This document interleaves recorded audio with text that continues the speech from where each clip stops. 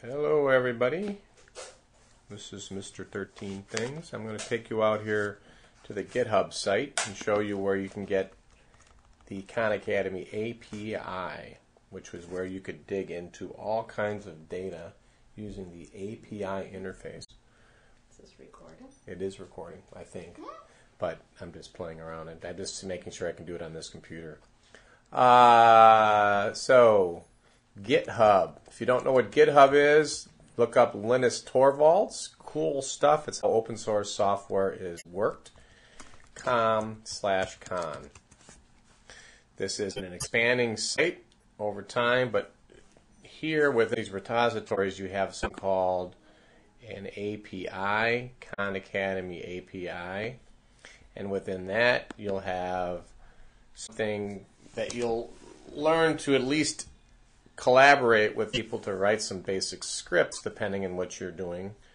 Um, as you build out and want to do maybe predictive models, responding to intervention and the like.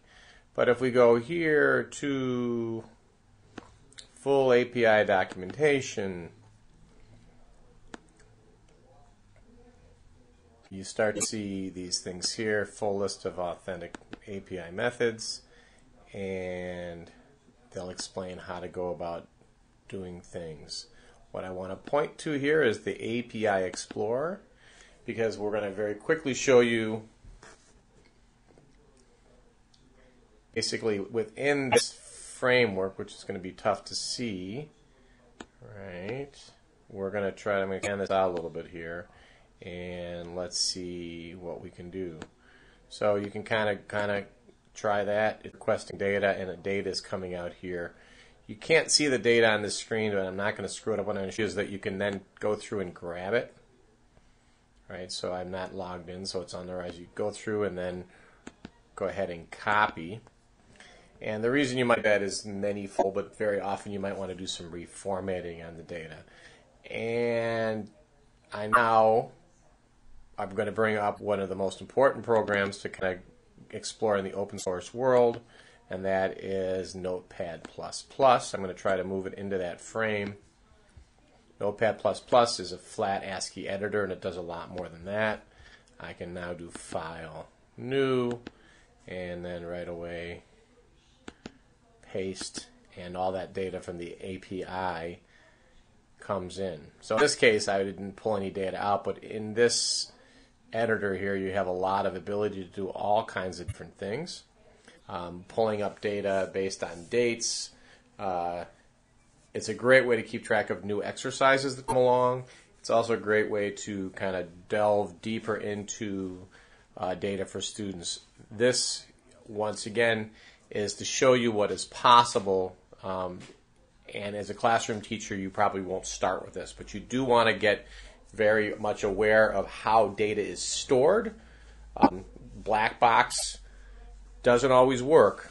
Um, we want to understand a little bit of what's in the black box, and this kind of gets you into the black box of the data store uh, on the Google App Engine that Khan Academy uses to store uh, all that clickstream data and, and, video watch data, the kind of things that may, you know, um, help you to serve. Uh, your students better and uh, cut grading, um, or make give you more substantial time with your students. So I'm going to hit. And I'm not going to save that. So that was Notepad++. Plus This was the API Explorer, and you see these kind of things evolving even from week to week. Um, and so I'm going to go back here a few times, and we'll finish this out in a second.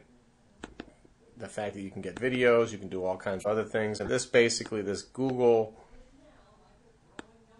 Hub slash Khan is where a lot of information uh, that's publicly available in terms of the open source world, kind of the back end of Khan Academy is available.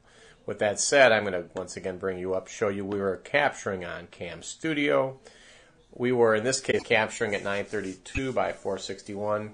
You really would like to, can capture at 1280 by 720. It makes things a lot easier.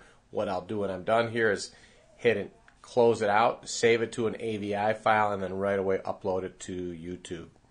Uh, or whatever engine you're doing, flash drive, whatever you want to do to keep track of stuff. YouTube, however, works great.